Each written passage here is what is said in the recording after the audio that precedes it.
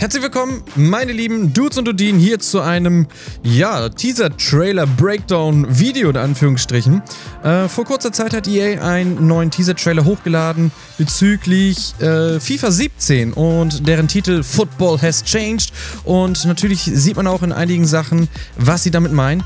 Es wird einen Wechsel geben hin zur neuen Engine. Auf welchen Systemen es die neuen Engines äh, oder die neue Engine geben wird, das ist noch nicht ganz bekannt. Das wird aber natürlich am 12.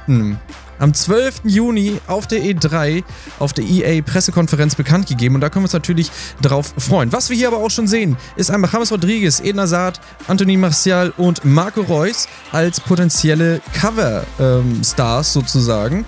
Und ich kann mir gut vorstellen, dass sie ähm, für die verschiedenen Länder entsprechend die Spieler nehmen. Was ich interessant finde, dass sie aber zwei aus der BPL nehmen, was aber auch schon recht interessant ist. Ähm, wir können uns aber gerne einmal erstmal kurz den Trailer anschauen. Falls ihr den nicht schon gesehen habt, den äh, schneide ich euch jetzt einfach mal hier eben rein und dann äh, können wir ganz kurz darüber schnacken, was da drinnen passiert. People say football never changes. EA Sports. It's in the game.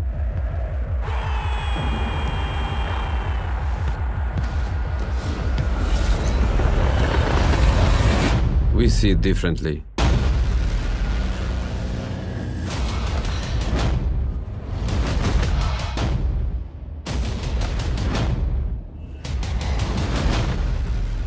Football has changed.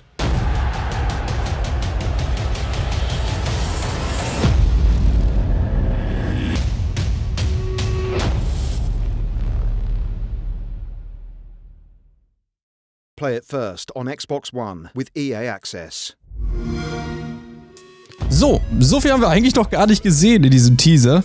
Ist natürlich klar, EA möchte jetzt einfach nur die Leute heiß machen. Wenn die Pressekonferenz da am 12. stattfindet, werden wir natürlich nochmal einen größeren Trailer sehen.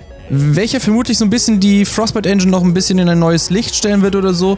Ähm, was ist überhaupt diese Frostbite Engine? Worum geht es da überhaupt? Also, Frostbite Engine kommt von DICE, ähm, die haben unter anderem, glaube ich, äh, Battlefield entwickelt.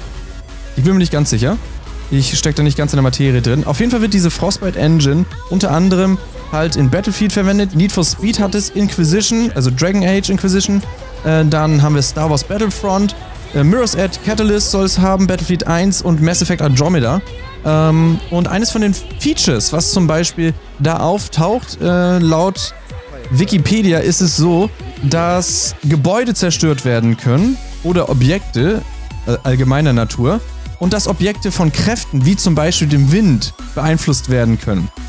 Äh, unabhängig jetzt einfach, wie das aussieht. Also das Visuelle sieht natürlich auch sehr, sehr gut aus. Wir haben ja Azad auch mal als Modell gesehen, also nicht als echten Menschen, sondern als gerendertes Modell. Und das sieht auch schon super nice aus.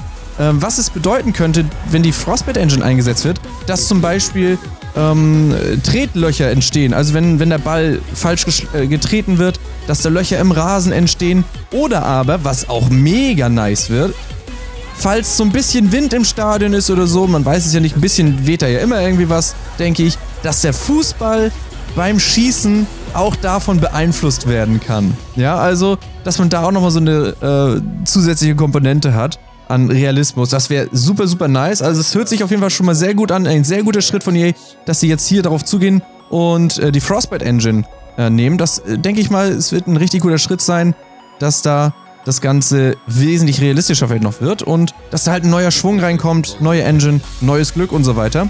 Äh, für welche Systeme wissen wir halt noch nicht. Das sieht man jetzt hier alles noch nicht. Das wird vermutlich auch erst äh, am 12. Juni bekannt gegeben werden. Ich denke mal, es wird auf keinen Fall für die Last-Gen-Konsolen wie PS3 und Xbox 360 äh, geben. Eventuell lassen sie auch am Anfang noch den PC raus. Das haben sie ja öfter mal schon gemacht, dass der PC nicht am Anfang gleich äh, die neue Engine bekommt. Wäre aber sehr, sehr schade, weil das aber ähm, für den PC eigentlich super machbar wäre. Also es ist ja praktisch prädestiniert dafür, mit der Frostbite Engine eigentlich auch daran zu arbeiten. Und wir werden äh, sicherlich dann für die Next-Gen-Konsolen Xbox One und PS4 ähm, oder die Current Gen in dem Sinne äh, auf jeden Fall die neue Engine bekommen. Ich bin auf jeden Fall heiß. Wir werden mal sehen, was wir da zu sehen bekommen.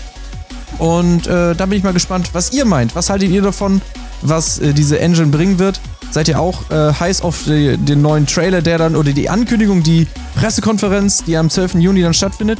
Äh, ihr könnt es gerne auf jeden Fall mal in die Kommentare reinschreiben. Würde mich auf jeden Fall freuen, wenn ihr das Video gerne mit einer positiven Bewertung äh, liken würdet. Und dann sehen wir uns ganz bestimmt bald wieder. Macht es gut. Bis dann. Tschüss.